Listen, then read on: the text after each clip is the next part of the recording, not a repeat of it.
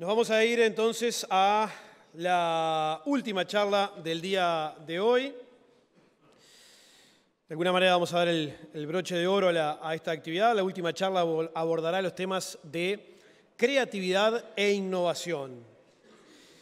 Les presentamos a nuestro último orador, Estanislao Bajraj, doctor en biología molecular.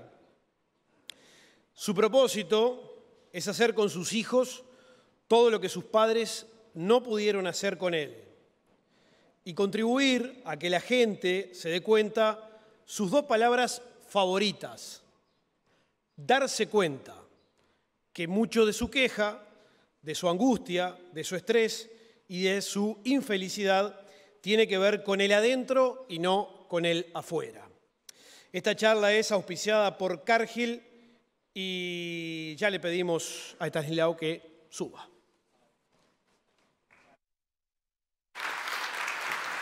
Gracias, muchas gracias. Me estaban pidiendo que me saque la gorrita, pero ya me siento parte del equipo, así que no me la quiero sacar. Bueno, gracias de nuevo por invitarme. Matías, Diego, Sofi, Marcos, un placer estar acá. Muchos ya me escucharon varias veces, saben que soy fanático del Uruguay.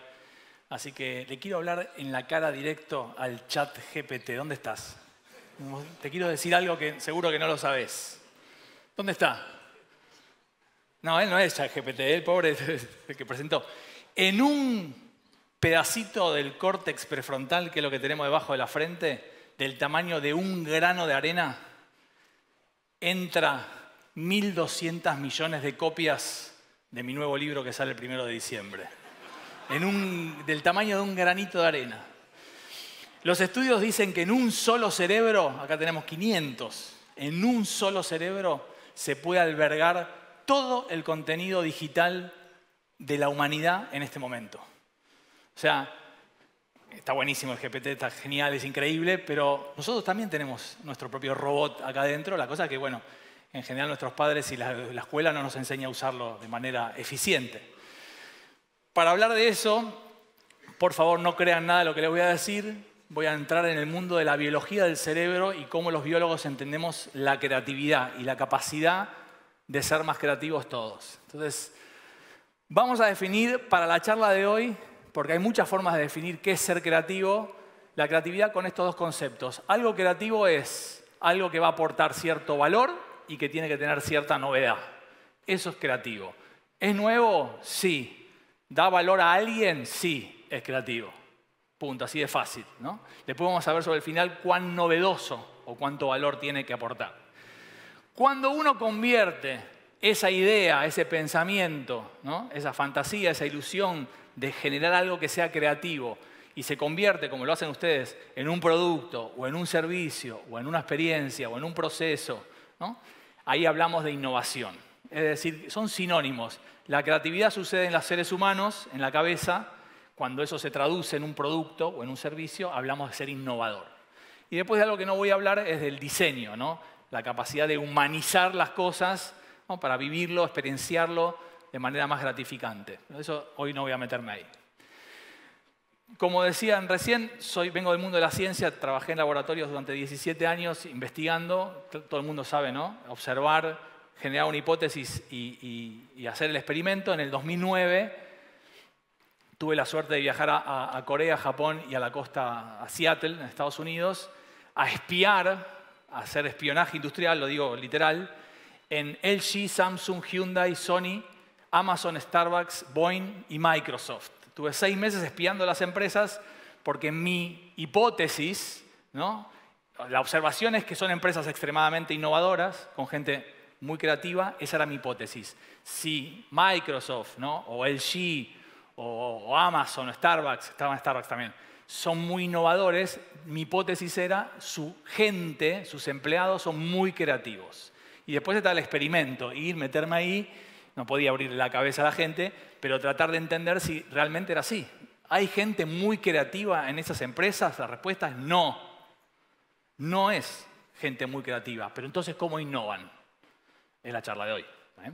Entonces, cuando metemos en estos tres círculos y salimos de la ciencia y hablamos de creatividad, y acá hay una mala noticia para Marcos, que él decía que al aprender sobre la siembra directa le permitió mucho tiempo extra para hacer otras cosas y disfrutar de la vida y, también tener otras ideas. Cuando estudiamos a los grandes creativos de la humanidad y cuando estudiamos a estas empresas súper innovadoras, vemos que la creatividad siempre empieza por acción. Acción significa producción, hacer. Mucho, mucho, mucho, mucho, mucho, mucho, mucho. Ah, esto está bueno.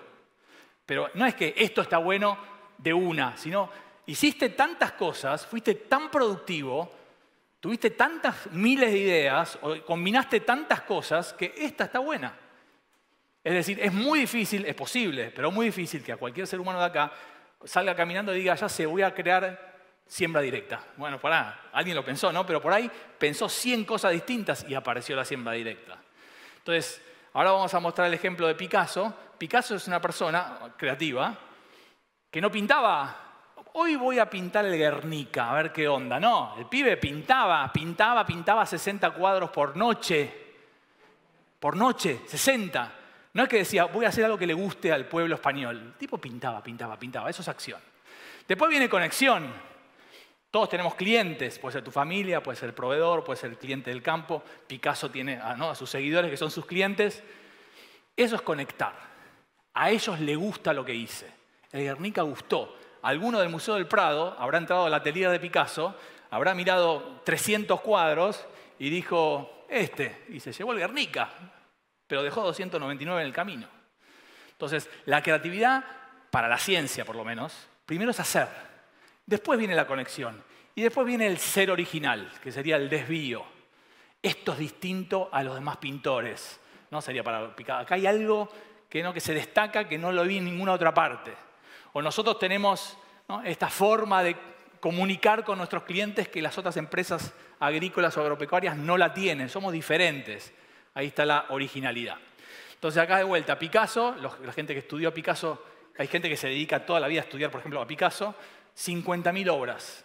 ¿Cuántas habrá conocidas? ¿Cuántas habrán, ¿Cuántas habrá en museos? ¿3.000? ¿4.000?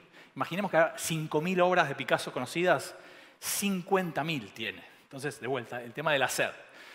Acá les contaba, esta gustó muchísimo, conectó, por lo menos conectó con el pueblo español, y Picasso tenía esta cosa de reinventarse, reoriginalizarse, cambiaba sus estilos, cambiaba sus trazos, como vamos a ver en este videito acá.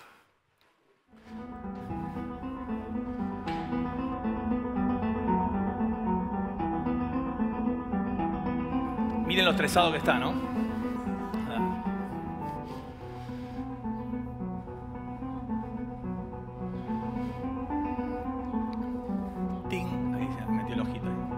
Traje porque agropecuario, hay un toro ahí.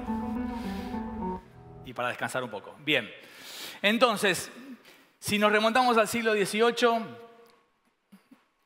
digamos, eh, ¿quién era el, top eh, tema para, trabajar para los negocios? La agricultura, después pasamos a, la industria, la revolución industrial.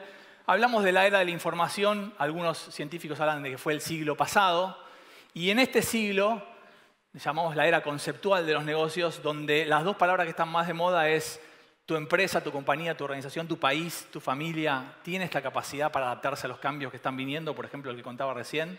Sí o no, bueno, va a ser una gran diferencia. Y también tiene la capacidad de ser creativo, tiene la capacidad de ofrecer a los clientes cosas que agreguen valor y que sean novedosas. Bueno, por ahí va.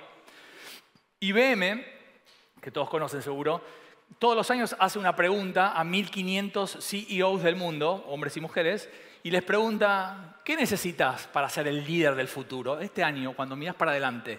No, por ahí ahora la respuesta sería inteligencia artificial, ¿no? Pero, ¿qué es lo que necesitas? Esto fue hace 7, 8 años que se hizo esa pregunta. Si bien fue hace bastante, lo que me impactó es que fue la única vez en esta encuesta mundial que todos contestaron lo mismo. Es rarísimo que todos, que 1.500 personas digan ser más creativos, ser más creativos, ser más creativos. Y acá había industria de todo tipo. Había de commodities, había industrias tecnológicas, de autos, etc. Entonces, claramente la creatividad es un tema que está en, cualquier tipo de industria, en cualquier tipo de empresa, organización, y por eso yo saqué la palabra futuro y puse la palabra presente. Porque realmente hoy hacer la diferencia con el competidor o darle más a nuestros clientes tiene que haber un componente de ser más creativo, ¿no? de poder generar valor y generar cosas nuevas. antes de que me meta en el mundo del cerebro y la creatividad, o la mente y la creatividad, Les recuerdo que, por lo menos para la ciencia hoy, las personas somos mente y cuerpo. Mente y cuerpo es parte de lo mismo, no son dos cosas separadas. La mente es lo que en esta charla vamos a decir los pensamientos. Pensamos unas 30.000 cosas por día, unas 30.000 cosas por día estamos pensando. Eh, los pensamientos son energía pura, 70 minivoltios es lo que tiene un solo pensamiento, multipliquen 70 minivoltios por 30.000, la cantidad de electricidad que estamos fabricando en la cabeza ahora. ¿Qué son 70 minivoltios? La energía necesaria para encender un electrodoméstico. Muy pronto, pero muy pronto vas a entrar a la cocina y vas a pensar café. Y se prende la cafetera. ti no es así. Va a pasar, ¿eh? falta poco. ¿eh? La interfase que lea mis pensamientos y se comunique con la cafetera, con la licuadora. El cuerpo todos del colegio seguro estudiamos la palabra materia, ¿no? los átomos, protones, neutrones, electrones, el cuerpo, ¿no? las moléculas. El cuerpo es materia, materia. Pero fíjense qué increíble cuando uno entra en la física y le pregunta a cualquier físico, ¿pero de qué está hecha la materia? De energía, ¿no? 99,99 de energía. Entonces, de nuevo, usando la inteligencia artificial, si imaginásemos un átomo, por ejemplo, de oxígeno, que tiene 8 electrones, ¿se acuerdan? Protones, los protones y los neutrones son, es lo que más masa tiene, es el 0,0001. Esta charla no la podría dar en Argentina porque dije masa ya tres veces. Si, si la masa de un oxígeno, 4, si la masa, 5, de un átomo, de un átomo, uno, un átomo, obviamente el átomo no lo puedo ver, ¿no? Pero si fuese el tamaño de una camioneta, si el 0,0001 no lo voy a decir otra vez, fuese una camioneta, una SUV, así como esa que está ahí, creíble. El electrón, en este caso el oxígeno son 8, el electrón que circula alrededor generando energía es del tamaño de un garbanzo. Para que se imaginen un átomo. Un átomo es una camioneta así y hay un garbanzo que está dándole vuelta al auto. El espacio, esto es un átomo, ¿eh? El espacio por el que el electrón, en este caso son 8 electrones, giran alrededor de la camioneta eso se llama vacío, ese espacio vacío, y esos electrones generan electricidad, es del tamaño de Inglaterra. ¿Se entiende qué somos? Es tremendo, ahí está girando. Bien, como masa. Bien, entonces, no sé si somos seres de luz, pero somos energía. Le guste o no le guste, esto es ciencia. Somos energía. Y después está el mundo de las emociones, que no voy a hablar hoy, las voy a mencionar un poquito, que todos sabemos que podemos sentir, obviamente sentimos porque tenemos neuronas que se dedican a eso, pero las emociones siempre, siempre, siempre, siempre, siempre hagas lo que hagas de tu vida, van a tu cuerpo. Y dependiendo de lo que vos hagas con tus emociones, poder expresarlas o reprimirlas, el cuerpo lo va a sufrir. Mucha gente sabe, ¿no? El, que no puede hablar de lo que siente, no puede expresar lo que siente, se enferma mucho más seguido. Cuando tratamos de simplificar, como hice con la camioneta y el garbanzo, ah, esto fue un átomo, Ahora voy a hacer algo parecido, simplificar mucho lo que sería un ser humano y tratar de entender por qué en la vida te va como te va, por qué tu desempeño, tu performance o tu rendimiento es como es. Es muy sencillo de justificarlo mediante lo que haces, tus comportamientos, tu forma de actuar en la vida, lo que haces y de cómo lo haces, o lo que no haces, impactan cómo te va si yo llego tarde, no saludo, no contesto los mails, trato mal a los clientes, no, no, voy a las reuniones y esos comportamientos probablemente impacten en que mi performance, mi, desempeño sea malo. Eso es como sentido común. Y cuando uno escucha a los padres, yo soy padre obviamente, escucha a los padres y escucha a los maestros ¿no? hablar a los chicos, en general estamos todo el tiempo hablándole de cómo tiene que hacer las cosas los comportamientos. Todo el mundo no sabe cómo hay que hacer. Parate derecho, sonreírle, llega temprano, contestarle, ¿no? Todo el mundo comportamiento, que no, digo que está mal, ¿eh? Entonces lo que hace la biología y otras, otras disciplinas es preguntarse por qué haces las cosas como las haces. ¿Y por qué lo haces así? Y no sé, porque siempre lo hice. No, ¿De qué depende de que uno actúe de una manera u de otra frente a la misma situación al mismo contexto o a la misma persona que uno tiene enfrente, que sería lo que viene abajo del agua, porque yo no puedo ver eso de la persona. Yo puedo ver lo que hace, pero no puedo ver lo que siente. Y una persona que va a trabajar desmotivada no es la misma que motivada. Una persona que va a trabajar deprimida no es la misma que una persona que va alegre a trabajar. ¿no? Una persona que tiene una reunión con su jefe inseguro o insegura no es la misma persona que va segura o seguro. Entonces, de cómo yo me siento tiene un impacto tremendo en cómo yo hago las cosas. Si yo estuviese peleado con Marcos, por ejemplo, esta charla no sería la misma. ¿no? Si yo odiase el Uruguay, cosa que no pasa nunca porque lo amo, estaría acá distinto. Sería, ah, vine a Uruguay, ¿no? ¿Se entiende? O si yo no, a mí no me gustase el campo, por ahí, oh, el campo, amo el campo. Entonces, todas estas cosas que yo siento impactan en la charla. Y la pregunta que se hizo la biología, para ir bien a fondo del mar, es ¿por qué te sentís así? ¿Por qué te sentís tan triste? No, porque mi novia no me escribió. ¿Por qué estás enojado? No, porque perdió Peñarol o Nacional. ¿Pero por qué tenés miedo? No, porque tengo prueba de matemática. Siempre la, naturaleza de las personas es culpar al otro o quejarse o responsabilizar, responsabilizar a la afuera de lo que uno siente. Es mi pareja, no, porque mi mujer tal cosa, no, mi marido, no, mi jefe no entiende. Siempre es el otro, porque es fácil. Y aparte porque, no, sé si ya me escucharon, cuando uno se queja todo el día, no es porque es uruguayo o argentino, en Finlandia se quejan todo el día. No puedes creer, digo, ¿por qué te quejas? Es todo, ¿no? Porque cuando uno se queja, genera placer. La queja da placer. En el cerebro genera dopamina. Si culpar todo el día al otro, quejarse todo el tiempo de la vida, de las cosas, que no funciona, que esto y lo otro, el cerebro lo está pasando increíble. Tu vida es una mierda, pero el cerebro la pasa increíble. Entonces el cerebro quiere que te quejes más, porque más quiero más dopamina, me gusta esta sensación de placer. En conclusión, no es la inflación, sos vos. Difícil de contar esto en Argentina. Bueno, y la pregunta entonces es de qué depende la emoción, si no depende de mi pareja. Muchachos, si ustedes creen que es la pareja, cambien de pareja y van a ver que no es así. Va a ser un cuatro o cinco meses la van a pasar mejor, después es todo lo mismo. Porque el verdadero cambio es uno, es más caro, ya tenés dos. ¿eh? Sea mujer o varón da lo mismo, pero bueno. Es más fácil cambiarlo o cambiarla por otro que, que seguir, bueno.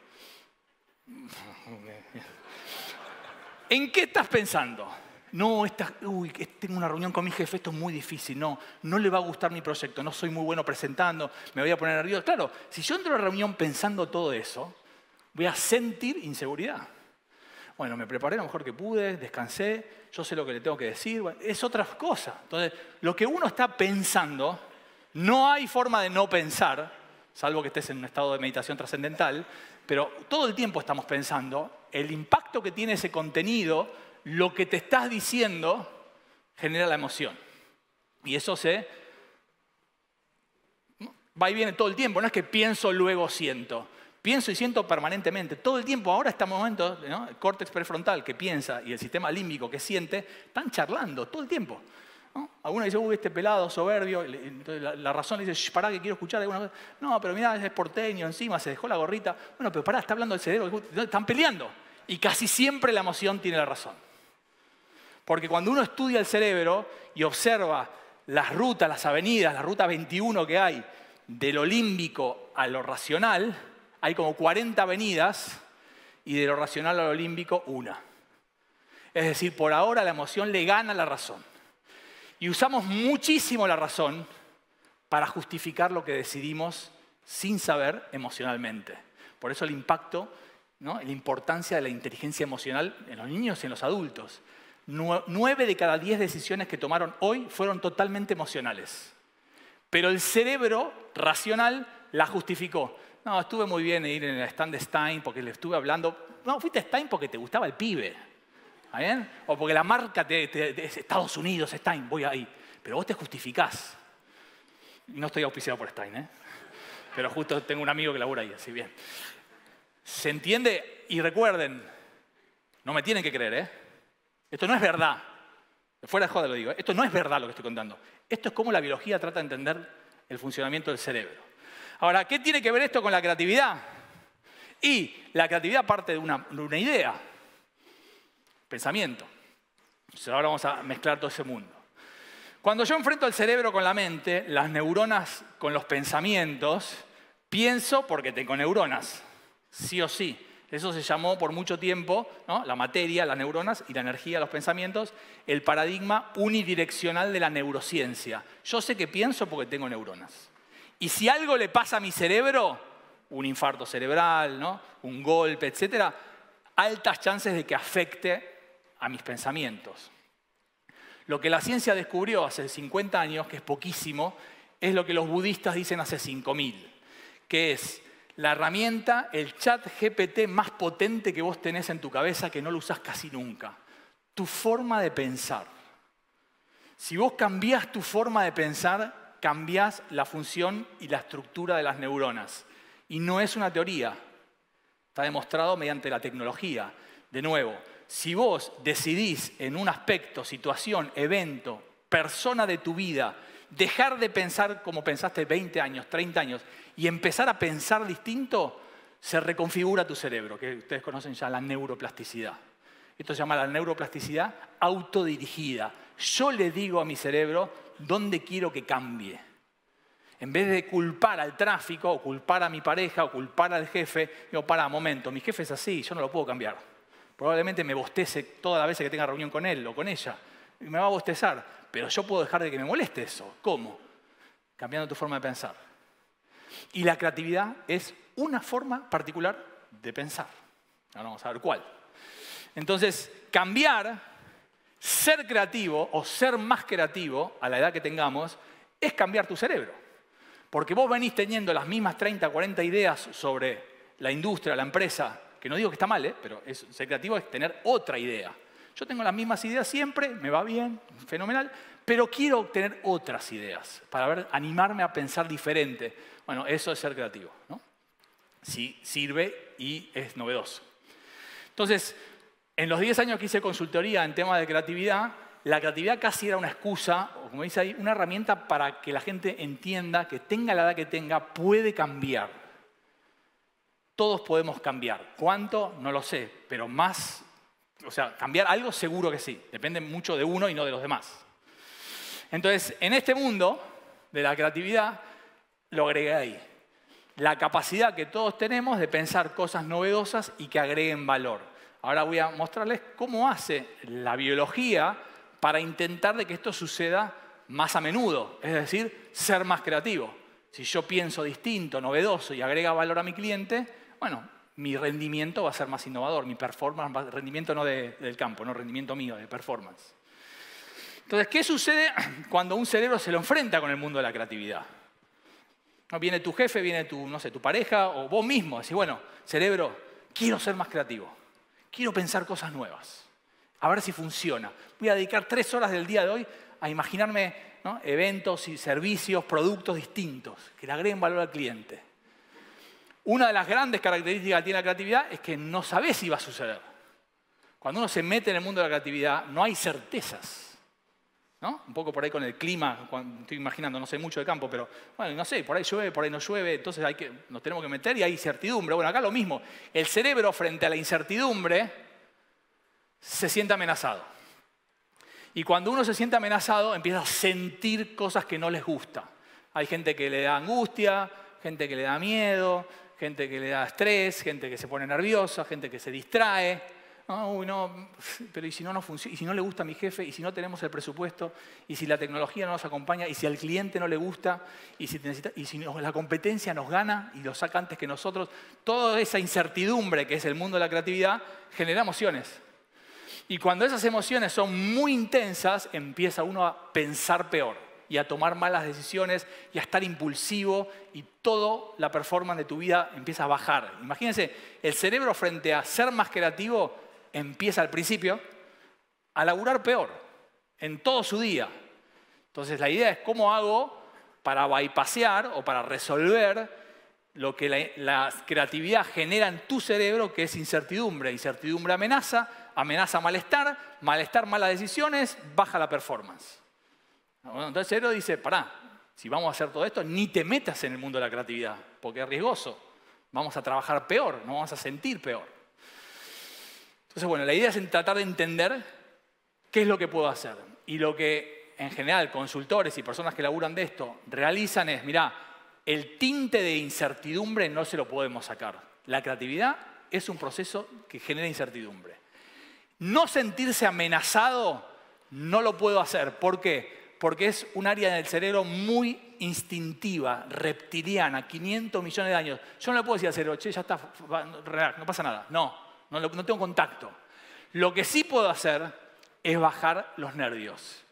bajar el miedo, bajar la angustia, bajar el estrés. Eso sí puedo hacer y se llama inteligencia emocional.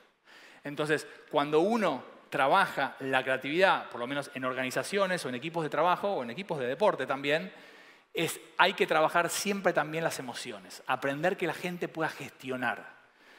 Y tengo miedo, es normal, estamos siendo creativos. Bueno, pero que ese miedo no me nuble, que ese miedo no me haga tomar malas decisiones. O yo, y vos cómo te sentís, no, yo estoy muy angustiado porque si nuestro jefe no nos da el presupuesto, entonces, bueno, para, ¿por qué tanta angustia? Bueno, esto sería otra charla, ¿no? Para el año que viene, que sería la inteligencia emocional, cómo gestiono mis emociones. Entonces, cuando le hablamos al cerebro para ser más creativo, que dijimos que es casi un sinónimo de cambiar, que es un sinónimo de aprender, ser creativo es cambiar algo de tu forma de pensar, es cambiar. Y esto es literal, cambia el cerebro, no es, uy, copa, no, no, cambia, se, estudia, ¿no? Resonancia magnética se ve áreas del cerebro nuevas que antes no estaban, conexiones cerebrales nuevas que antes no estaban, por el solo hecho de empezar a pensar distinto. Si ese pensar distinto tenés la suerte, y ahora vamos a ver cómo, de que sea algo novedoso y que le agregue valor a tu cliente, bueno, estás pensando creativo ahí. Y el cerebro, para animarse, acuérdense que había incertidumbre, que no quiere, para animarse a meterse en ese mundo de pensar diferente y pensar creativo, lo primero que vos le tenés que preguntar a tu cerebro y al de tu equipo de trabajo y al de tu familia es, ¿vos crees que lo vas a poder hacer? Que es la famosa autoestima. No, yo soy grande, yo soy del campo, no, yo soy una persona cuadrada. Eso se llama mentira en biología, no tiene nada que ver de dónde venís y cuántos años tenés. Pero las creencias, en este caso la autoestima, la capacidad que vos tenés de creértela, no como los porteños, ¿no? pero creértela en, ¿por qué no? Voy a probar, ¿por qué? Yo tengo neuronas. ¿por qué no? Me interesa, tengo ganas de pensar diferente. Es un lindo desafío para mí. Entonces, cuando vos le decís a tu cerebro o el de tu equipo de trabajo, nosotros creemos que lo podemos hacer, ya el cerebro se predispone diferente. Dice, bueno, ¿cuántas neuronas necesitas? Dale, te voy pasando las neuronas porque vos te la crees, sí. Si vos le decís, si vos te decís a vos mismo, no, esto es muy difícil, no es para nosotros, el cerebro está feliz. No, bueno, mejor, me tiro acá así, sigo repitiendo toda mi vida. Que no está mal. No está mal. Pero la creatividad es dejar de repetir, ¿no? hacer algo diferente. Entonces, el primer verbo es, muchachos, ¿creemos que lo podemos hacer? No, uy, la vamos a pasar muy mal. Sí, bien. ¿Tenemos ganas? No, lo vamos a pasar mal. En general el 20% tiene ganas. El 20% de la gente está sentada acá, el 20% de tu familia, el 20% de tu equipo de trabajo, de tu empresa, de tu organización, de tu país, tiene muchas ganas de animarse a pensar diferente, de animarse a ser creativo.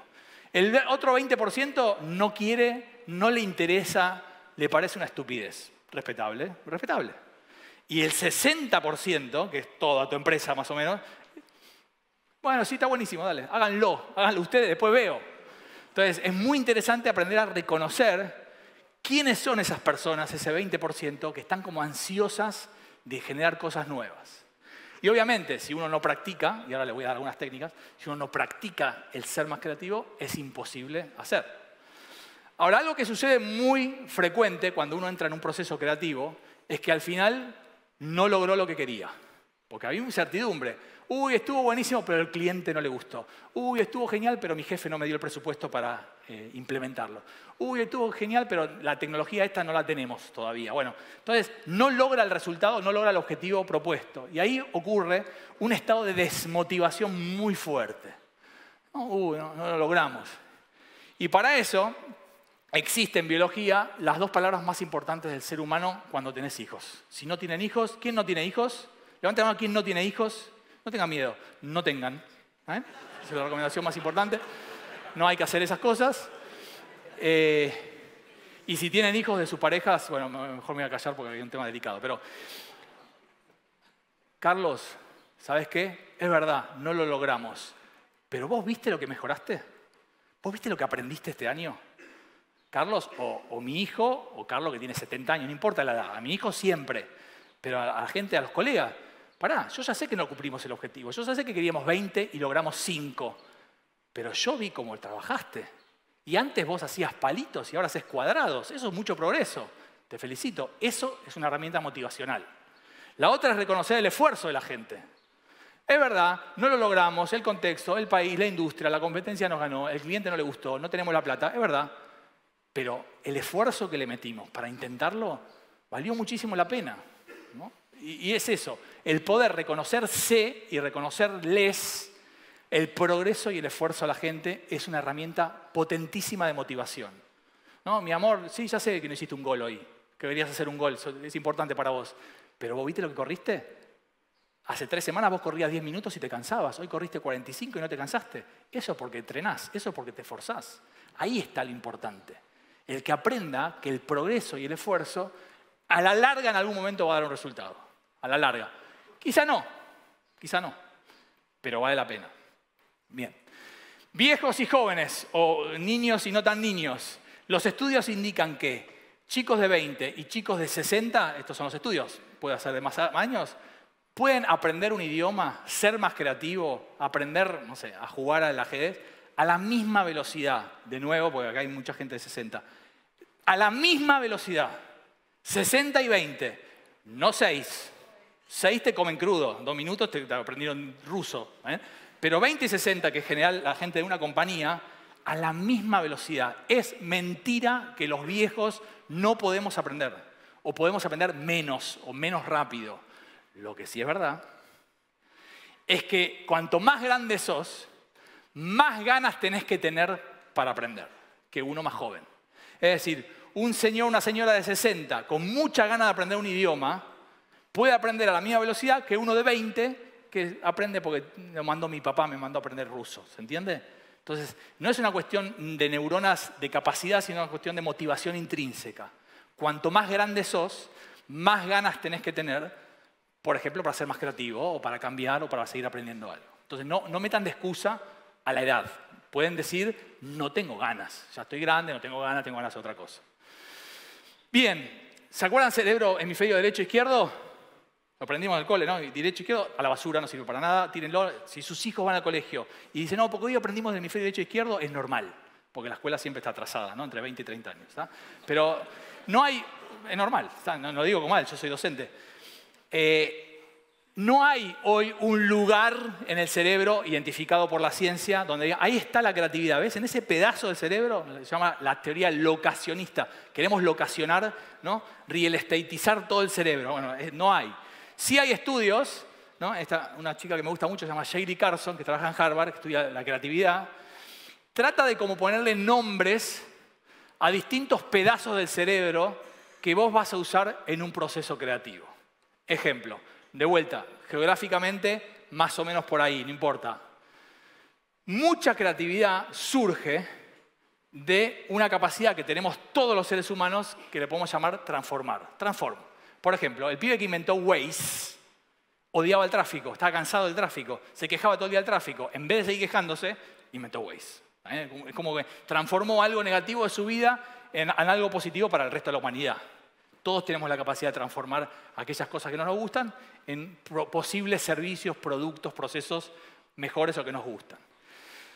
Para ser creativo es muy importante tener la capacidad, que todas la tenemos, algunos más desarrolladas que otros, de absorber información. Si yo quiero ser creativo en un producto del campo, claramente yo no tengo el absorb del campo, tengo que entender la agricultura, los suelos, el clima, tengo que entender de la semilla, de la transgénica, todo. Entonces, cuanto más absorbo de mi industria, de mi mercado, de mis clientes, más mejor, está mal dicho, va a ser la generación de ideas, porque mis ideas van a estar establecidas, pues bueno, vos sabés mucho de la industria, entonces tus ideas sobre todo al final, ahora vamos a ver, eh, van a tener el condimento de tu, sabiduría de, la industria, que es el absorb. Después está lo que a la gente le encanta, pero le cuesta mucho, que es soñar. Como ustedes saben, los brainstorming, ahora voy a explicar lo que es un brainstorming biológico. Un brainstorming es el momento donde uno tira ideas. Y acá hay que soñar, acá hay que animarse a todo, a todo. Y cuesta un montón. La gente dice, ¿para qué voy a decir esto si no lo voy a poder hacer? ¿Para qué voy a decir esto si mi jefe no le va a gustar? ¿Para qué voy a decir esto si no tenemos la plata? Eso se llama una reunión de trabajo.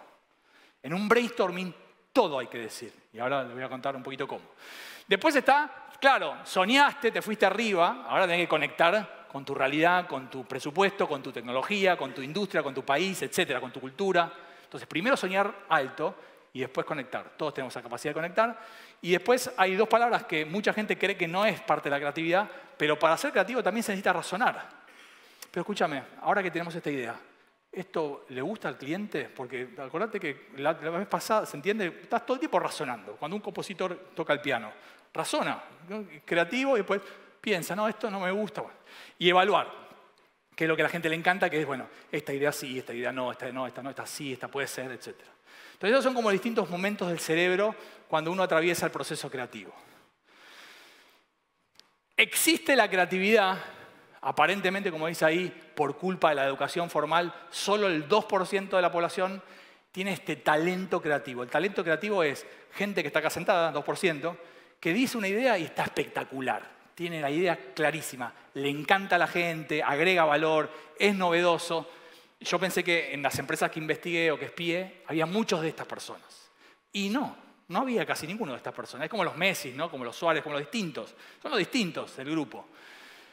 Hay gente que estudia a estas personas. El más famoso se llama Mihaly Csikszentmihalyi, ¿no? que estudió a 96 grandes creativos de la historia de la humanidad y trató de, como todo americano, él es húngaro, pero trabaja en Estados Unidos, de poner como una receta. Vos querés ser muy creativo, tenés que tener estas cinco condiciones. Entonces, le resumo un libro así en cinco slides. ¿no? ¿Qué tiene la gente muy creativa? Que, tira una idea y es espectacular. Multiplicidad de perspectivas. ¿Qué quiere decir? Que cuando yo levanto esto, yo seguramente el 99% va a decir vaso, copa, agua, líquido, cristal, vidrio, sed, fútbol, cena, familia. Y puedo seguir porque miro, tengo mi perspectiva. Estos personajes, que aparentemente tienen un cortocircuito en el cerebro que está bueno, sería un buen cortocircuito, un Steve Jobs, un Walt Disney, un Leonardo da Vinci, dicen, uy, mira la nueva Mac. ¿Dónde ves la nueva Mac? Sí, va a ser circular ahora la Mac. No, yo no veo una Mac. Sí, vas a ver que va a ser circular. Bueno, ¿se entiende? Pueden ver donde la gente no puede ver. Eso tienen los grandes creativos de la humanidad. Como dije de... No, esto no lo dije. También hay muchos estudios que indican cuanto más trabajas sobre vos mismo, cuanto más autoconocimiento tenés, más capacidad de ser creativo. Eh, son personas, como conté de Picasso, que trabajan muchísimas horas, mucho trabajo, mucho trabajo, mucho trabajo, entusiasmados porque, como vamos a ver ahora al final, la gente que es muy creativa quiere ser muy creativa. No es que, uy, me tocó, ¿no? quiere. Entonces, trabajan con, con entusiasmo. Y la creatividad tiene esta mezcla de juguemos un rato, tiremos ideas, soltemos, estemos en el tiempo presente, veamos qué se nos ocurre, y disciplina, sobre todo una empresa. Tenemos un cliente, tenemos un competidor, tenemos una industria, tenemos un presupuesto.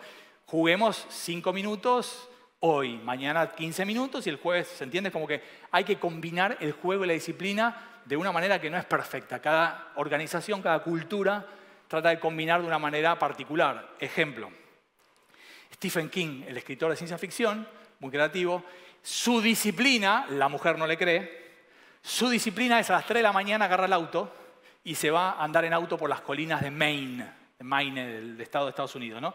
Y él dice que en ese espacio, con el auto a las 3 de la mañana, donde no ve a nadie y gira por las colinas, se les ocurren los personajes de sus novelas.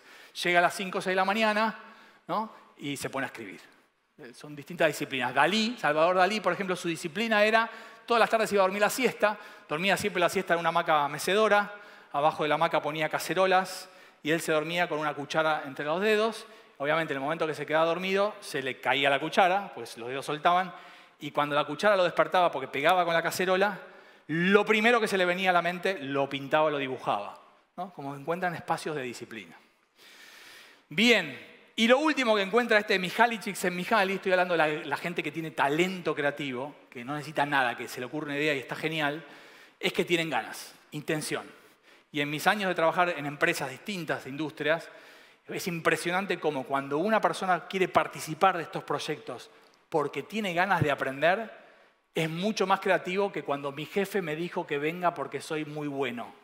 Esa gente, pero vos querés participar, ah, vengo porque me mandó mi jefe. Es muy difícil. Entonces la intención, las ganas son muy importantes a la hora de ser creativos. El resto de nosotros podemos atravesar lo que se llama un proceso creativo. En una empresa sería un proceso de innovación. Cada empresa innovadora tiene su proceso establecido, con horarios, con días, con fases, con etapas distintas. Ahora voy a mostrar un ejemplo. Pero en este proceso creativo, la idea es que si pienso algo nuevo, Aprendo a pensar cosas nuevas. Es dificilísimo pensar algo que nunca se me ocurrió, porque al cerebro le gusta repetir. Y además me cuidan, nadie me critica, ¿no? nadie me dice, uy, qué boludo, qué idea, no sirve para nada. O sea, las, las emociones están gestionadas. Puedo quizás animarme a hacer las cosas un poco distintas. Y como es todo el mundo de la creatividad, quizá sea innovador. Nunca yo no confío en la gente que me te dice, vos haces esto y vas a ser más creativo. Es que es el mundo de la incertidumbre. Vos haces esto y tenés chance quizás de ser más creativo. Va por ahí. Ahora, en ese proceso que uno construye para llegar a un resultado creativo, aprende mucho de uno mismo. Primero se genera autoestima, wow, yo puedo pensar distinto, se me ocurrió esto a mí, qué increíble. Tengo una historia muy linda de un banco en Argentina muy grande, donde un grupo de empleados normales, a través de este proceso, generó una idea que le entró muchísimo dinero al banco y el banco feliz y eran gente, lo digo con cariño, normal, normal. Pero atravesando ese proceso se le ocurrieron cosas diferentes y, como la autoestima le sube. Bien, entonces, falta esto, acuérdense. Tiene que tener valor. Entonces le cuento rápido la historia del iPod. Todos conocen el iPod, todos seguro conocen el iPod. El primer iPod, mucha gente joven, salió en el 2002, 2002, 2003, ya no me acuerdo, 2002 creo.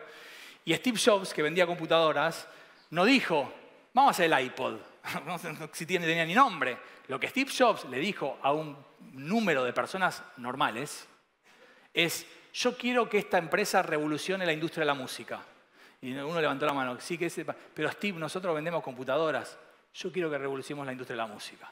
Entonces le propongo que de acá a un mes me traigan 3.000 ideas de cómo escuchar la música. Y lo único que pretendo de esas ideas es que sean nuevas. Quiero escuchar cosas que nunca escuché sobre cómo se podría escuchar música de una manera diferente. No pretendo que tengan valor, no pretendo que lo podamos hacer, no pretendo que al cliente le guste, no pretendo que la tecnología existe, porque si yo le digo todo eso, lo encuadré a la persona. Claro, tengo que pensar algo que sea nuevo que le guste al cliente, que Steve Jobs lo apruebe, que tengamos la guita, que exista la tecnología, que el cliente... Es mucho, es muy difícil pensar una cosa así. Entonces, él parte, y ahora vamos a meternos a la biología, mucho de nuevo, muchas cosas novedosas. Y cuanto más novedoso tengo, más chance de que alguna funcione. Entonces, si ustedes hacen brainstorming así informales en el laburo, en el trabajo, y generan 10, 20, 30 ideas, mal. Eso es una reunión de trabajo, cool, una brainstorming, no, eso es una reunión de trabajo. El brainstorming necesita mil ideas, 500 ideas, ¿no? 200 ideas. Y nunca me ha pasado que generando, siendo digamos, moderador de brainstorming, que no haya algo interesante para generar una idea que agregue valor y que sea novedosa. De nuevo, a mayor cantidad, más chance de que alguna de estas ideas novedosas agregue valor. Entonces, ¿cómo arranca un proceso creativo? ¿Qué queremos cambiar? ¿Qué queremos hacer diferente? ¿A qué queremos agregar valor de manera novedosa? ¿Cuál es nuestro desafío? Nunca usar la palabra nuestro problema, porque el problema tiene una connotación negativa. ¿Cuál es el desafío? El desafío, acá inventé uno, ¿cómo nos podemos comunicar mejor entre áreas de la organización o entre áreas de las empresas? Que sea más efectiva la comunicación. Bien, primero voy a salir a investigar. Eso es prepararse. ¿Cómo comunicamos hoy en día? Cómo comunican otras empresas, cómo comunica mi competidor, cómo comunican otras industrias, cómo se comunican en un hotel cinco estrellas, cómo se comunica en un barco pesquero en el medio del mar. O sea, distintas formas de comunicación. Salgo a investigar. ¿Cuánto tiempo? Cuanto más tiempo investigo, más información tengo, pero más chance le doy a que mi competidor me gane, ¿no? o gastar mucha plata en investigación. Pero siempre hay, hacen así, bueno, 15 días vamos a investigar métodos de comunicación. Y eso es absorbo me meto mucha información sobre cómo comunicar.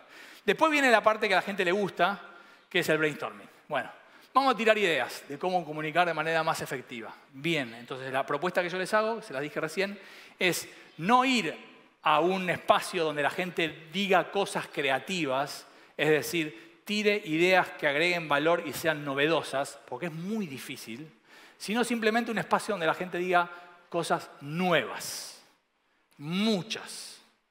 Brainstorming, dos puntos. Espacio para generar ideas nuevas, muchas.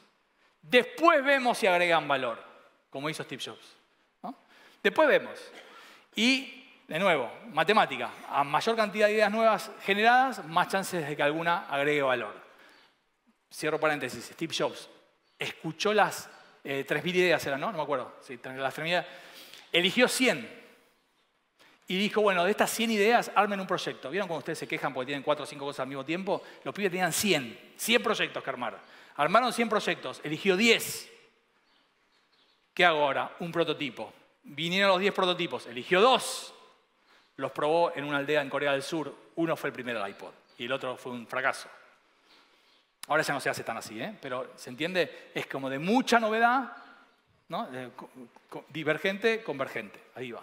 Entonces, biológicamente lo ideal sería un brainstorming no puede durar más de una hora, 60 minutos, y si son un equipo de más de 7 personas, 150 ideas en una hora. Al cerebro le encantan los desafíos. Entonces, muchachos, tenemos una hora para generar 150 ideas de cómo comunicar de manera más eficiente. Dale, arranquemos. Eh, por celular. los primeros 20 minutos son las pavadas de siempre, son las mismas ideas de siempre. Y el cerebro en un momento dice, claro, ¿por qué es difícil generar cosas nuevas? Entonces hay que empezar a animarse. Por trompas de elefante, dale, trompa de elefante. Por abajo del agua, dale, por abajo del agua. No, a través de las raíces de las plantas, dale, a Claro, voy a decir, ¿qué boludez es esta? Bueno, porque por ahí la raíz después te lleva a que en el subsuelo de la compañía existe. Y entonces siempre sucede que de estas ideas muy locas aparecen otras ideas más implementables.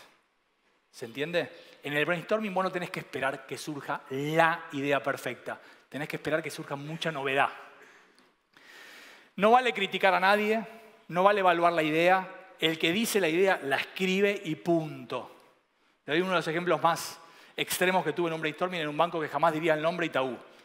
Una persona me dijo, tengo una idea así, matar a la gerente de recursos humanos. Ok, puse, en ese momento había pizarrón, matar a la gerente de recursos humanos. No dije, no muchachos, no podemos matar, porque la gerente... Es la idea. De ahí después surgió cambiar el formato de las reuniones. De ahí surgió después cambiar la forma de comunicarme con la gerente. Bla, bla, bla. Después la conocí, La idea original estaba buena. Pero, y después me echaron. ¿eh? No trabajé nunca más ahí. Bien. Y acá, que esto se lo puedo mandar a, los chicos de ADP y se los, pueden regalar, se los puedo regalar, porque ya los regalo, es cómo le digo a mi cerebro de generar cosas nuevas. ¿Cómo hago? Porque el cerebro lo que quiere es, duda. Dice, no, para, yo tengo que decir algo que esté bueno, que le guste a Marcos, ¿no? que tengamos la guita, porque si no es al pedo. Bueno, eso es una reunión. Acá tenés que animarte a todo. Como mucha gente no se anima, hay técnicas, que es lo que digo que les puedo regalar en un PDF, que fui registrando a lo largo de muchos años, bueno, 64 técnicas de cómo empujar o apoyar al cerebro para que se anime a lo novedoso. La técnica, claro, vos la lees y decís, esto es una boludez. Claro, porque la creatividad es al principio como medio una boludez. Después le vas encontrando la vuelta. Pero al principio es animarse a las trompas de elefante, recorriendo los campos y tirando mails. No lo sé. Uno dice, Puede estar bueno igual, ¿eh? Vemos. Termina el brainstorming, solta, relaja, anda a caminar. Hoy a la mañana fui ahí por, por el río, camina, olvídate, olvídate del tema. No te apures, porque cuando ustedes ya lo saben, cuanto más tranquilo estás, cuanto más saltás, soltás el problema o el desafío, empiezan a aparecer otras ideas. Te fuiste a tu casa, te diste una ducha, fuiste a caminar, sacaste al perro, ¿no? Dormiste a tu... Me ha pasado durmiendo a mi hija y digo, uy, pará, se me ocurrió algo del laburo, ¿Qué, qué, boludo, estoy con mi hija. No, porque el cerebro, cuando está más tranquilo, ahí aparecen más ideas. Entonces, darle bola a esto de incubar, tomarse un recreo, no, no, querer solucionar todo rápido. Y después lo que le gusta a la gente, evaluar, rápido, evaluar. Esta sí, esta no, tenemos la guita. Ahí, ahora sí viene el momento de sabes cuánta plata tenés, sabes qué tecnología contás, sabes qué tiene que tener las características. Ahí sí, ahora recién el equipo sabe con qué cuenta para la idea. Y ahí ya descartaste 300. Porque tenés 10 pesos, ¿no? Uruguayos, tenés 10 pesos, tenés dos días, tiene que ser sin tecnología y tiene que bla, bla, bla. Bueno, a partir de esas características que recién ahora las sabes, porque vino el jefe del jefe del jefe a decirte qué quiere como idea, ahora empezás a elegir las ideas y después viene la parte de implementar, animarse, animarse a realizarla, a probarla, el famoso prototipo. Me quedan 11 minutos y ya terminamos. Esto es lo mismo, pero a nivel empresa. En vez de llamarlo proceso creativo, lo llamamos un proceso de innovación. Simplemente para que vean, porque mucha gente piensa la creatividad como el brainstorming. ¿no? La creatividad tiene un montón de etapas y de fases por las que uno tiene que ir atravesando. Y ahora voy a, para ir terminando, voy a ir al revés. Voy a ir a un trabajo que hizo un señor que murió hace poquito, se llama Clayton Christensen, eh, que es un profesor también de Harvard, que salió a investigar empresas comunes, industrias normales, no, no necesariamente creativas, donde trató primero de distinguir, es muy complejo, pero se lo hago fácil, empleados, personas que eran muy exitosas y, y personas que eran muy exitosas por ser creativas. O sea, gente que le iba muy bien en el trabajo, pero a esta le iba muy bien por tener esta cualidad de tener más creatividad. Y lo que encontró, lo pueden leer en un libro que se llama El ADN del innovador, está en español, de DNA Innovator, está todo lo que hizo Clayton Christensen, encontró como cinco palabritas mágicas que la biología aplaude. Esto, o sea, salgo del cerebro y ahora voy a la empresa, el tipo que investigó empleados sin saber de biología, y les cuento lo que eh, descubrió y por qué la biología lo avala. Primero descubrió que los empleados que eran más creativos tenían más curiosidad, que es un poco medio fácil, ¿no? Y claro, cuanto más curioso sos y más preguntas te haces sobre algo, más chance de tener ideas nuevas. Cuando vos te haces siempre las dos, tres preguntas, siempre las mismas sobre el rinde o sobre el suelo, bueno, no está mal, porque te quedas atrapado ahí. Cuando vos haces 70 preguntas sobre el suelo, no, 70 es imposible, 10. Haces 70, tomate un mes y en un cuaderno, que tiene Stein afuera, en un cuaderno, anotate las preguntas, todas. En un momento va a haber preguntas ridiculísimas ¿Por qué tiene que haber suelo para cultivar, por ejemplo? ¿Por qué? Es una pregunta. Y de repente, bueno, vamos a cultivar en madera, estoy inventando, ¿no? O en pavimento. Bueno, ojo, puede ser buena idea, ¿eh? Cultivo sobre pavimento y no sobre tierra. Bueno, pero no tiene los nitratos. Después vemos. Entonces, la curiosidad ¿no? Es el alma de la creatividad. ¿Qué es lo que nos destruye en el colegio? El alumno que pregunta mucho es el alumno que tenemos que callar. A veces porque a veces se quiere destacar y pregunta todo el tiempo, pero a veces es curioso de verdad. Entonces en casa, que tenemos más tiempo, ojalá, démosle el rinde, ¿no? el, sueltos para que pregunten todo lo que quieran. La curiosidad, el hacerse preguntas nos genera más ideas. Y, y estas son tres preguntas mágicas. ¿Tenés un desafío en tu trabajo? Hoy a la tarde, pregúntate diez veces por qué. ¿Por qué no? ¿Y qué sucedería si? Por ejemplo, ¿qué sucedería si cultivamos en pavimento? ¿Qué sucedería si no necesitamos, no necesitamos agua para que crezcan? ¿Qué así, te haces 30 preguntas, 10, 10, 10, y vas a ver que enseguida vas a empezar a encontrar algo diferente en esas preguntas. son cinco palabras. Segunda, observación, la capacidad de observar donde en general la gente no observa. O sea, no, ¿cómo llegó a mi campo? ¿Cómo llegó a, mi centro comercial? ¿Cómo entró? ¿En qué vino? ¿Qué vino en auto? ¿Y cómo, cómo estaba su cara? ¿Tenía cara de culo o estaba contento? Y viendo los días de lluvia viene... La gente que tiene la capacidad de observar un poquito más allá del producto y del servicio y ve alrededor de todo eso, lo que pasa antes y después de, consumir ese producto o servicio, ahí hay muchos espacios para, para innovar. Les cuento un ejemplo que me gusta mucho. El dueño de Tata en la India, un día estaba tomando un café, no me acuerdo en qué ciudad, y ve bajo una lluvia torrencial pasar un ciclomotor, papá, mamá y dos hijos a la escuela, empapados. Y se le ocurrió el famoso autito ese que ya no me acuerdo el nombre, que tiene el techito, que es el autito más chiquito del mundo. Entonces, e, eso, el poder observar, tomando su café, vio y dijo, pará, yo tengo que hacer un autito en la India para que la gente pueda no mojarse, etc. Tercera palabra, animarse a asociar, a mezclar cosas que aparentemente no tienen relación. Sé que el 99% de ustedes ya fueron a Buenos Aires el último mes, ¿está bien? Pero imagínense que se fueron a Playa del Carmen a hacer buceo. Entonces, reunión de lunes. ¿Cómo te fue? Uh, espectacular. ¿Hiciste buceo? Sí, hice buceo con snorkel. Bueno, relacioname buceo con snorkel y maíz transgénico. Eh, no, ¿cómo? Relacionámelo. Vas a poder. Si alguien tiene una idea, lo puede decir. Bueno, cultivemos maíz abajo del agua. Pongámosle a la planta una escafandra. Estoy inventando, ¿eh? Ya van dos. Hagan 50 de esas y les aseguro que va a haber algo rarísimo, interesante para explorar. Entonces, otra de las mamás de la creatividad es asociar cosas que aparentemente no tienen relación y forzar al cerebro a hacerlo. Como este pibe, que ahora les muestro un video, como van a ver, muy moderno de una publicidad. Chocolate, dice. Y ella viene comiendo mantequilla de maní ¿Pusiste chocolate en mi mantequilla de maní? No, vos pusiste mantequilla de maní en mi chocolate. Bueno, el pibe es multimillonario y tiene una isla en Bahamas Y lo único que hizo fue mezclar eso, chocolate con mantequilla de maní. ¿no? Chocolate Ritz, no sé si conoce Estados Unidos. Pero eso, ¿no? Él cuenta que en el momento que descubre eso, había probado mil combinaciones distintas con chocolate. Hasta que a la gente le gustó esta. ¿eh? Esto es del año pasado, se ve por la calidad del video. ¿no? Bien. Una escuela va a los estudios de Disney, Walt Disney existía, estaba vivo, y se encuentran con Walt Disney. Y un nene va y le pregunta, ah, ¿vos sos Walt Disney? Sí, soy Walt Disney. Ah, me encantan los dibujitos que hace. No, yo no dibujo, flaco. Y dice, ah, bueno, pero vos haces los chistes, me hacen reír un montón. No, yo tampoco hago los chistes.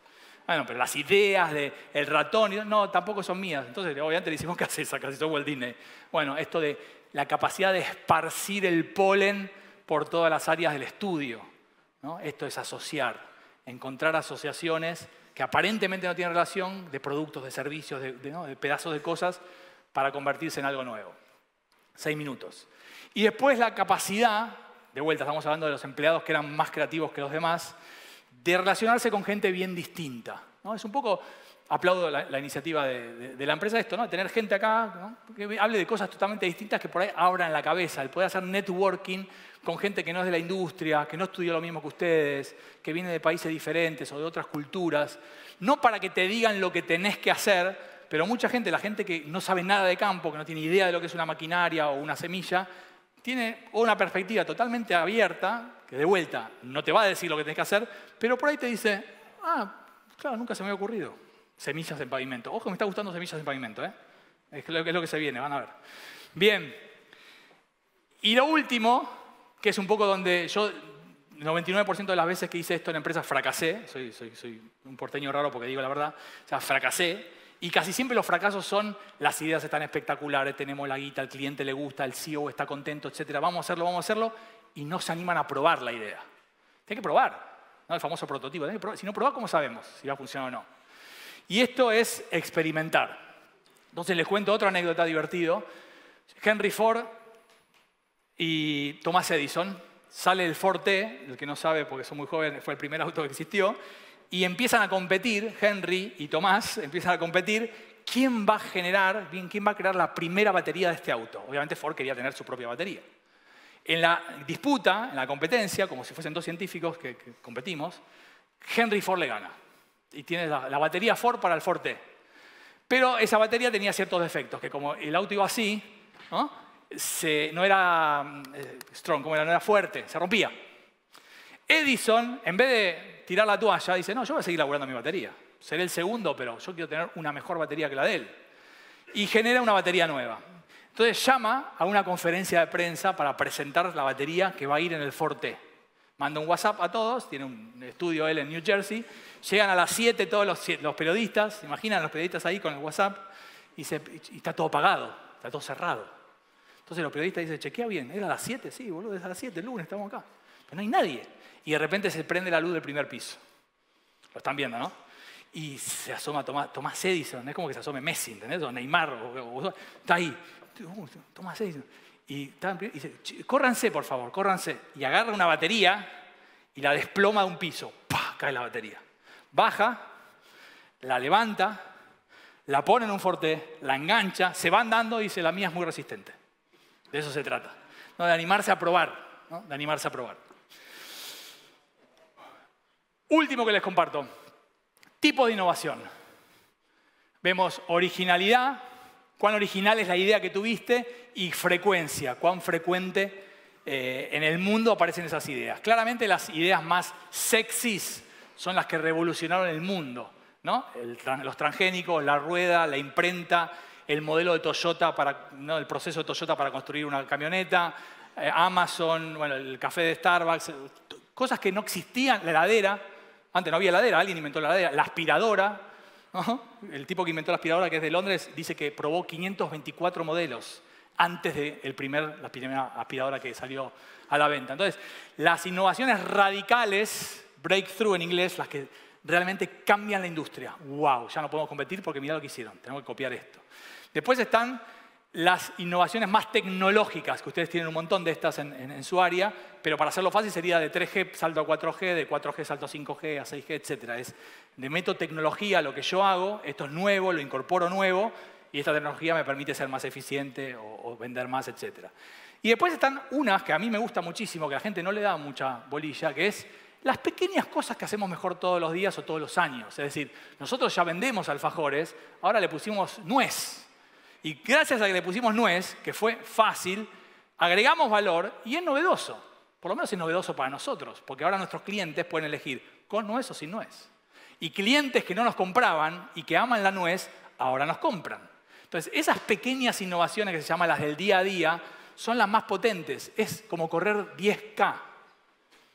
Vos no vas a correr una maratón de 42 de una. Primero te entrenás. Esto es entrenar el cerebro para ser más creativo. Después correr la de 21K, que serían las tecnológicas. Y después puedes correr la maratón de 42, que sería la innovación radical. Entonces, siempre que trabajé en empresas en el mundo de la creatividad, arrancamos por abajo, por acá. ¿Qué cosas de este espacio podemos aprovechar mejor? ¿Cómo le podemos agregar valor a estas charlas todos los años? ¿Qué otro valor le podemos agregar para, para, que nos guste más, estemos más cómodos, etcétera, etcétera? Les doy ejemplos. ¿No? Hago pantallas, ahora las hago chatas. Hago computadoras, hago notebooks. Inventé la tablet, rompí el mundo. ¡Wow! Esto es radical. Eh, hago equipos de sonido, inventé el Walkman, el que no sabe qué es, me da, asco, no quiero saber. Salió el Discman, tecnología que le supera al Walkman. Bueno, y después apareció el iPod. El iPod rompió todo, ¿no? El MP3. Agrego un canal de tele en, mis canales. Hago televisores, hago los HD. Sale Netflix. Y acá puse una gracias a la ayuda de, la gente de ADP. De, ¿no? Espero que estén de acuerdo porque me lo dijeron ellos, no tengo la culpa. Bueno, la siembra directa claramente no lo hace todo el mundo, pero ha revolucionado la, moda, la forma de sembrar. Bueno, agricultura por ambiente, esto, esto ustedes lo saben, yo un poquito, y acá otras. Entonces, para cerrar, el cerebro es entrenable, como es entrenable el cuerpo. Para entrenar el cerebro hay que partir de pequeñas cosas para ser más creativo. ¿Qué tenemos acá y cómo lo podemos mejorar, que nos agregue valor, que sea novedoso para nosotros? Para eso existe una metodología, existen técnicas, algunas se las puedo compartir, se las voy a compartir, y no depende de la edad depende fundamentalmente de creer que uno puede tener ganas y practicar con las herramientas adecuadas, como cualquier cosa que uno aprende en la vida. Espero que les haya servido. Estoy permitido que me hagan preguntas ahora y muchas gracias por la atención.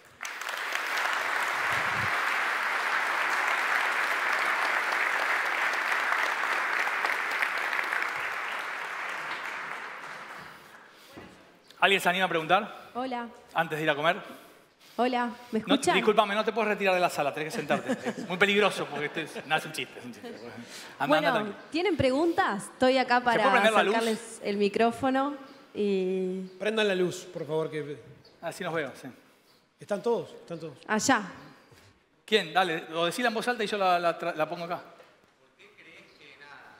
¿Por qué crees que nada? Porque mi papá me educaron ateo. que muchas veces se relaciona, o no sé, las, últimas creatividades o los gran pensadores están siendo en, el, en Estados Unidos, en países más avanzados, y bueno, nada. Los sudamericanos es como que siempre cuesta más o no es tan así realmente. A ver, te voy a contestar como, como puedo, no, no como porteño que saca la guitarra y te da. Eh, para la biología, porque acuérdate que yo te hablo desde la biología, hay dos formas de ser creativo, por necesidad y por inspiración.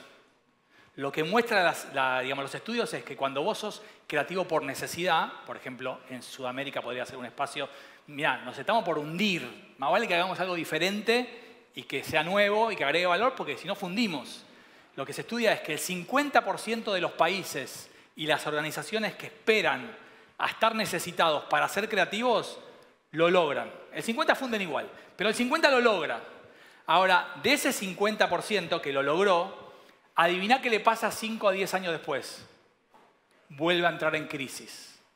¿Se entiende? No sé si te suena algún país cercano. ¿eh? Entonces, son como ciclos. Uno puede ser creativo por necesidad, ¿no? Pero cuando uno es creativo por inspiración, ¿qué quiere decir? Supongo, me parece, no quiero hacer publicidad de P, pero me parece que es un poco lo que hacen. Nosotros nos va bien, somos fuertes, somos los mejores, o entre los mejores, y seguimos siendo más creativos. Ahí es donde tenés más chance de sostener la creatividad en el tiempo. Ahora, es verdad que hay un sesgo que se estudia más los científicos de Estados Unidos y de Europa que los de abajo. Eso es verdad, hay un sesgo en los estudios. ¿Qué más? ¿Alguna más? Son tímidos. No, una más ahí seguro. Sí, dime. Dale, ahí tienes. Ahí hay otra. animando. Porque me dijeron que acá me están diciendo que la carne todavía no está, entonces estamos haciendo un poquito tiempo. Sí. Tú dijiste, tú dijiste que es muy importante para ser creativo y para muchas otras cosas el querer. Sí, querer. Entonces tú dirías que la voluntad es la principal virtud del ser humano, la principal... Uf, es potente esa frase. Lo que yo te diría es, de vuelta, te respondo como él, como biólogo. El cerebro, según la biología, hoy, porque la ciencia va avanzando, el cerebro no tiene la capacidad de reconocer qué está sucediendo y qué estoy imaginándome. Por eso cuando uno ve una peli de terror, en general tiene miedo. Y una pregunta sería, ¿pero de qué tenés miedo si es una película? Porque el cerebro no tiene la capacidad de reconocer si alguien me está mintiendo o alguien me está diciendo la verdad. Eso, de eso se ocupan muy bien los partidos políticos y las religiones. Que es esta la forma de ver el mundo. Es esta, no te corras. Entonces, lo que la biología propone es que ¿cómo hago yo para decidir si esto está sucediendo o me lo estoy imaginando? ¿Cómo hago para decidir si tal partido político dice la verdad o me está mintiendo? O tal religión. ¿Cómo hago si no puedo distinguir la verdad de la mentira?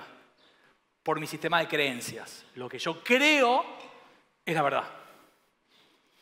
Por ahí va. Entonces, cuando uno no cree en uno mismo, que es lo que hacemos algunos padres con los chicos, no les generamos la autoestima, cuando uno es adulto y no, no, yo creativo no puedo. Es muy difícil, eso es no creer en uno.